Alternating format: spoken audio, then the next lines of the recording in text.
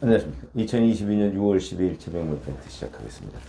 이제 2년도 안 됐네요. 2020년 7월 말에 문재인 대통령이 갑자기 박지원 전 의원을 국가정보원장에 임명을 했습니다.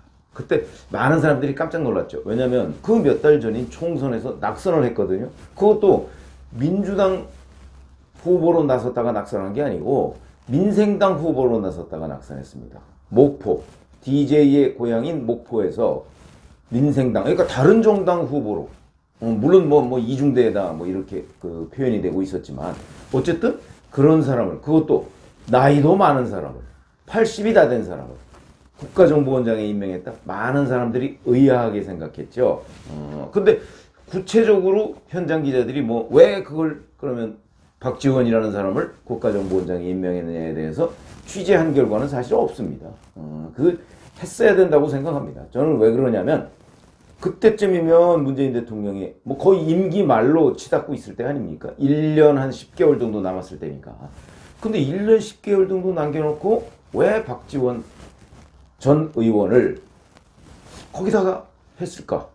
박지원 전 의원은 잘 아시지만 문재인 대통령이 그렇게 존경한다는 노무현 대통령 시절에 대북 송금 사건으로 구속됐던 사람입니다. 그렇기 때문에 저는 그때 어떻게 봤냐면 아 문재인 대통령이 대선을 앞두고 그러니까 2020년 7월 말이면 그때 대선을 한 1년 한 7개월, 1년 6, 7개월 정도 남았을 때 아닙니까? 그러니까 대선을 앞두고 북한이 호의적으로 보는 인물인 박지원이라는 사람을 그 자리에 갖다 놔서 대선 때 뭔가 뭐 남북 정상회담이든 아니면 뭐 종전선언이든 뭔가를 해서 북풍을 한번 만들어 보자. 저는 그런 의도가 있었다고 봅니다. 그리고 아마 이제 윤석열 정부에서 그런 부분이 뭐 이렇게 드러날지 모르겠으나 틀림없이 저는 그런 시도가 있었을 것이다. 그런데 실패했을 것이다. 이렇게 보거든요.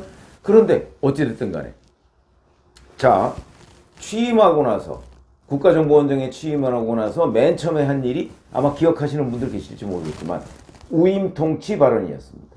이게 대략 8월 한 20일쯤에 있었던 일인데 국회 정보위원회가 열렸는데 그때 이제 박지원 그 그야말로 국가정보원장이 정보위원회 참석을 한 겁니다.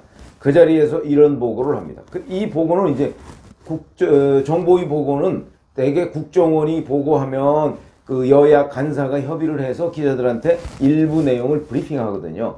그거는 이제 브리핑해도 좋은 것이라고 그 이렇게 카테고리화 된 거 그런 것들을 브리핑합니다. 당시 정보위원회 미래통합당 지금 국민의힘이죠. 간사인 하태경 의원이 이렇게 얘기합니다. 국정원은 김여정 제1부부장이 우임 통치를 하고 있으며 후계자 통치는 아니고 후계자는 결정하지 않았다고 보고했다. 이렇게 얘기했고요. 국정원은 김 제1부위원장이 여전히 절대 권력을 행사하고 있지만 약간의 권력을 이양한, 것, 이양한 것으로 김 제1부부장은 김 위원장에게 올라가는 대남 대미 정책, 대미 전략 등의 중간 보고를 받는다고 보고했다. 이렇게 됐, 얘기했습니다. 그래서 전후 맥락을 보면 김여정이 김정은의 거의 무슨 후계자 반열 1순위 정도인 것처럼 보고를 했고요. 그 다음에 김여정의 권한이 김정은이 우임에서 거의 무제한적인 권력을 행사하는 것처럼 절대적인 권력이라고 표현을 했습니다. 그러니까 많은 사람들이 어 김정은이 어디 아픈가? 또는 김정은이 이제 뭐 수명이 다 했나? 이렇게 생각하도록 일종의 호도한 거죠. 이걸 한번 생각해 보시죠. 그때 김정은의 나이가 몇 살입니까? 김정은은 1984년생입니다. 뭐 84년생 설도 있고 5년생 설도 있는데 그러면 지금 40도 안 됐습니다. 그 당시에는 30대 중반이었는데 자 벌써 우임 통치? 그러니까 자기가 통, 우임 통치라는 개념은 자기가 통치를 잘 못하니까 이 일정 부분을 넘겼다 이런 얘기가 되는 거죠. 저는 말도 안 된다고 제가 아마 그 방송이든 어디든 그 나와서 논평하는 거 보신 분들이 계실 겁니다. 말도 안 된다고 얘기를 했습니다. 왜? 제가 들은 근거는 이런 겁니다. 김정은, 김여정이가 힘을 쓸 수 있는 거는 김정은이가 있기 때문이고 김정은이가 우리 저 이렇게 이렇게 이 부분에 대해서 이렇게 해 라고 했을 때 힘을 쓰고 있는 것이지 김정은이 없어지면 김여정도 없다. 그러니까 그냥 이거는 부속품에 불과하다. 제가 그런 식으로 얘기를 한 적이 있습니다. 그 이후 어떤 일이 있었습니다. 근데 그 당시에 우임 통치 이거에 그 이유로 근거로 국정원이 이런 거 설명했습니다. 김정은의 통치 스트레스 경감, 정책 실패 시 김정은에 집중되는 책임 분산, 뭐 이런 걸 예로 들었는데 이 분석이 맞다고 생각합니다. 어이없는 일입니다. 왜? 통치 스트레스요? 통치 스트레스가 있었으면 아니 그 젊은 나이에 무슨 그렇게 통치 스트레스가 있겠습니까? 거기다가 스트레스 별로 없습니다. 왜? 반란 같은 것만 제대로 제압하면 그러니까 그 국가 보위부 여기만 제대로 탁 틀어지고 있으면 북한에서는 꼼짝 말합니다. 더군다나 정책 실패 시에 책임을 분산한다고요? 다른 사람은 몰라도 김여정은 자기 여동생인데 책임을 어떻게 분산합니까? 다 그냥 김정은은 곧 김여정이다 이렇게 생각할 텐데 그러니까 그건 김여정의 권력이라는 거는 김정은 때문에 생겨나는 일이고 김정은이 사라지면 김여정도 없는 겁니다. 뭘 위임한다는 얘기죠? 이게 이런 거 생각하시면 됩니다. 윤석열 대통령 정부에서 예를 들어서 원희룡 국토부 장관이 있다. 윤석열 대통령이 임명 안 했으면 원희룡이라는 사람은 뭐 주택 정책이나 뭐 교통 정책이나 이런 데 대해서 아무런 영향력이 없습니다. 그러니까 임명한 사람이죠, 그냥. 그걸 무임했다고 얘기를 안 하지 않습니까? 그걸 교묘하게 말장난으로 상황을 호도했다. 저는 호도할 만한 이유가 있었을 거라고 봅니다. 아까 제가 처음에 얘기했듯이 북한과의 관계 또 뭐 예를 들어서 대선을 앞두고 어떤 남북 정상회담이나 이런 걸 하는데 김여정 라인으로 뭔가를 모색했던 것 아닌가. 그래서 김여정을 띄워줄 필요가 있었다. 그런 판단으로 저는 의심하고 있습니다. 그것도 앞으로 현재 이 국가정보원에서 그때 상황이 어떻게 됐는가 한 번쯤 점검해 볼 필요가 있겠다. 최근에는요, 갑자기 어제 그저께죠, 10일 CBS 방송에 나와서 이렇게 얘기합니다. 국정원의 정치인, 기업인, 언론인의 60년치 조난 문서가 있다. 이걸 국정원 엑스파일이라고 하고서 보도를 합니다. 국정원에 이런 식의 조난 자료가 있다는 것은 천하가 다 아는 사실입니다. 잘 아시지만 20년 전에 당시 한나라당이었죠. 국가정보원의 도청 자료 이만큼 폭로한 적이 있습니다. 도청 자료 이상 확실한 조난 자료가 어디 있겠습니까? 그리고 조난 자료라는 것은 결국 국정원이 국정원이 이런 기업인, 정치인, 뭐 언론인 사찰할 때 그 사찰한 자료입니다.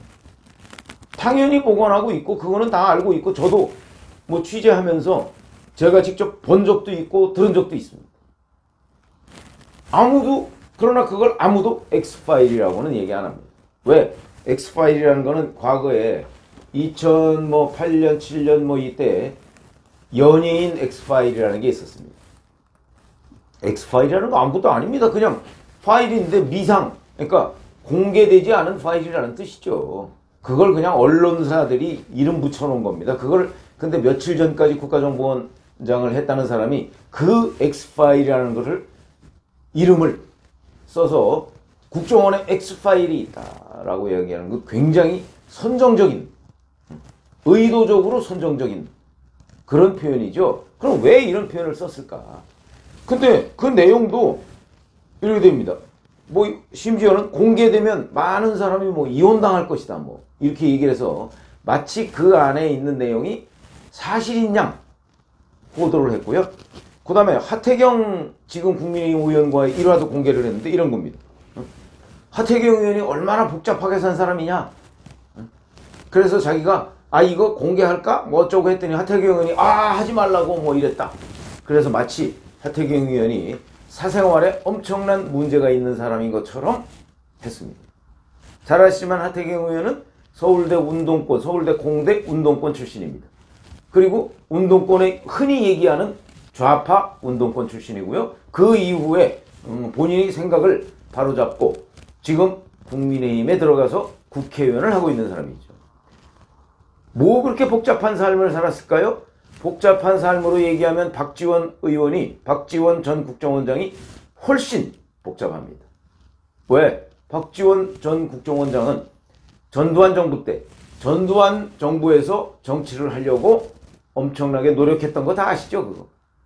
그리고 나서 아 잘 안 되니까 DJ 쪽에 가서 하려고 했는데 초반에 잘 안 됐죠.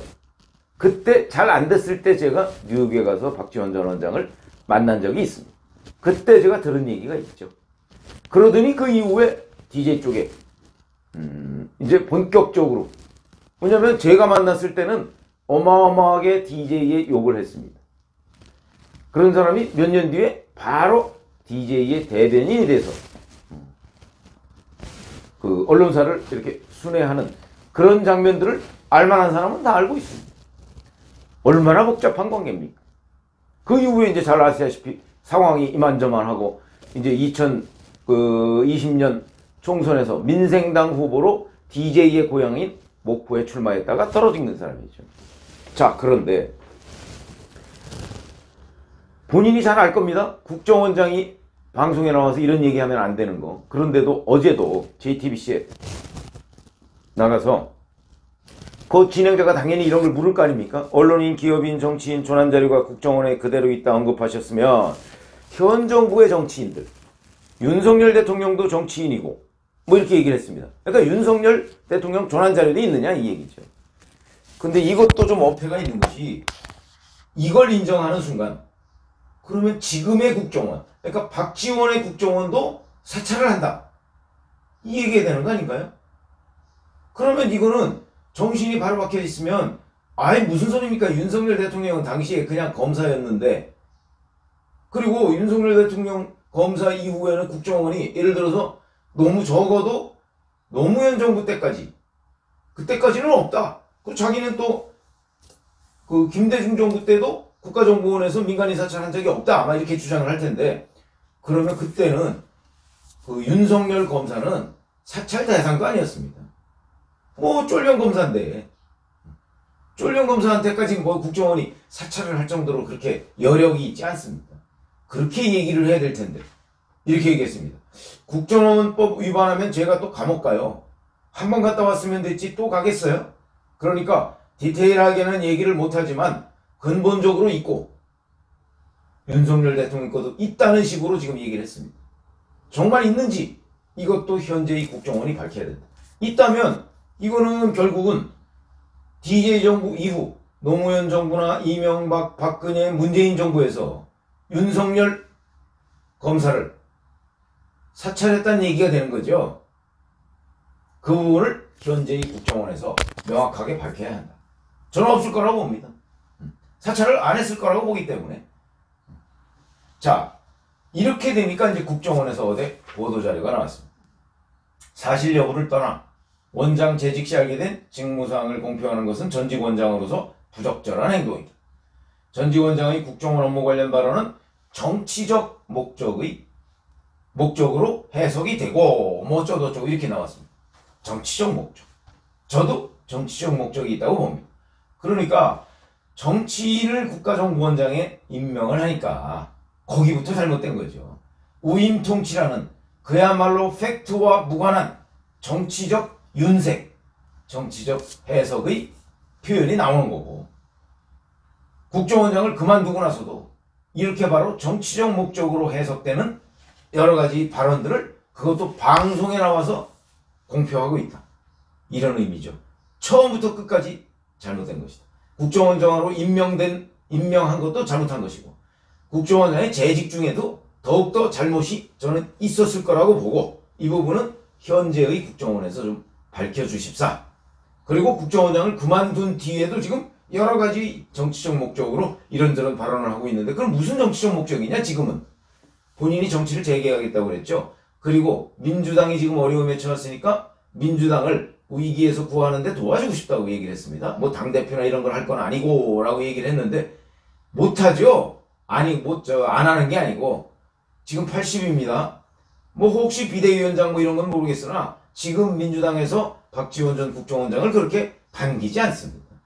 본인은 하겠다고 하지만 지금 민주당 분위기는 전혀 다르다. 그러니까 본인의 일종의 자가 발전이고 그 다음에 뭐 국정원 엑스파일이 뭐 이렇게- 누가 누구나 다 아는 얘기 다시 끄집어내는 거 이거는 결국 본인이 관심을 끌기 위한 거에 불과하다. 우리 흔히 관종 관종 뭐 인터넷에서 많이 얘기했는데 그런 종류의 발언이다. 이렇게 보시면 됩니다. 그러니까 우임 통치부터 지금의 국정원 엑스파일까지 전체적으로 총체적으로 잘못된 것. 이거는 첫 번째가 임명, 두 번째가 자 이런 사람이 이렇게 판단이 안 되고 모든 걸 정치적으로 해석하는 사람이 과연 국정원장은 제대로 했을까? 하는 부분 저는 지금부터 후임 국정원장 그러니까 윤석열 정부의 국정원장 국정원이 자 혹시 이 과정에서 박지원 전 국정원장이 위법한 행동을 한 것은 없는가? 하는 부분을 규명을 해야 된다고 저는 생각을 하고요. 그 다음에 그 이후 뭐 저는 지금 이 정도까지는 특정을 한 게 아니기 때문에 그러나 적어도 하태경 의원 발언과 관련해서는 특정을 했지 않습니까? 하태경 의원은 이게 허위 날조다 이렇게 얘기하니까 그런 부분은 국정원법 위반이 되는지 특정을 했으니까 하태경 의원 관련은 그런 것도 함께 아마 점검을 해보고 이런 부분에 관해서 단죄를 할수 있으면 단죄를 해야 된다. 그렇죠. 전직 국정원장이 나와서 내가 국정원장으로 있을 때 그 자료를 이런 거 이런 거 봤는데 이런 거 이런 것이 있고 또 이게 어쩌고 그중에 특정한 하태경 의원을 딱 찍어서 어쩌고 이게 과연 국정원법 위반이냐 하는 부분을 한번 누군가는 검토를 해야 될 시점이다. 어, 이렇게 생각을 합니다. 고맙습니다.